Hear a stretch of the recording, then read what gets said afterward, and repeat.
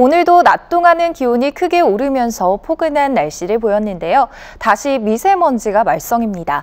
내일 서울과 경기 남부를 포함한 중부와 경북을 중심으로는 종일 초미세먼지 농도가 나쁨 수준에 머물겠고요.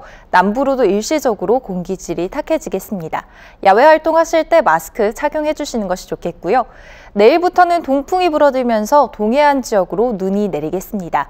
특히 강원 영동으로는 최대 15cm의 많은 눈이 예상되는 만큼 안전사고에 각별히 유의하셔야겠고요.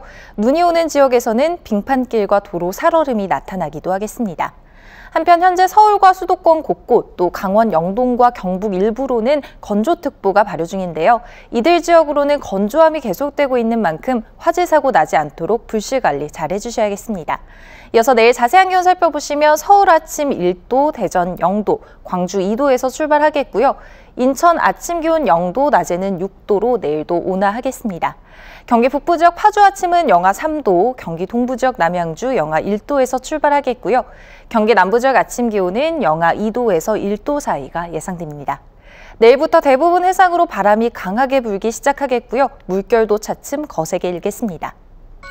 내일까지 평년과 비슷한 기온이 이어지다가 모레 아침부터는 반짝 추위가 나타나겠습니다. 날씨였습니다.